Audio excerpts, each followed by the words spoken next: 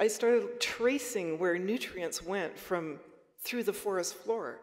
I, I used my tools that I learned as a scholar to try to understand what was that forest doing? Where was the energy going? What happened to it when we got rid of the old trees?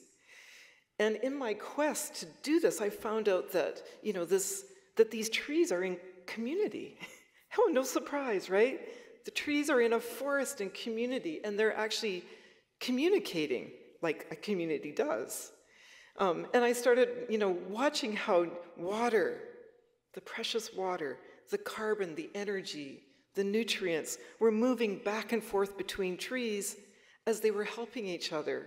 They weren't in a, this massive, fierce competition like, like the corporate model said, that, you know, that trees will dominate each other. No, they actually help each other. They're community, they're social.